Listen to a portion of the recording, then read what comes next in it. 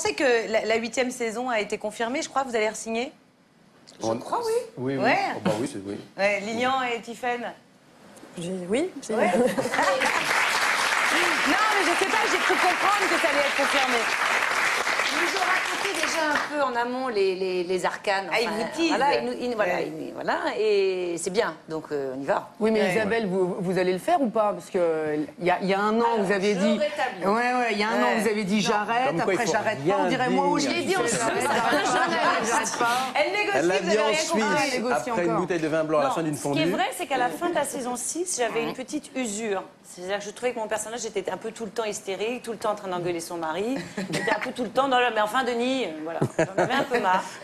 Et sauf que évidemment, ils sont allés dégoter euh, Michel Leclerc et Cathy Vernet qui nous ont écrit des trucs euh, De dingue. de dingue. De donc j'aurais été débile de refuser. Non, Et non, Isabelle,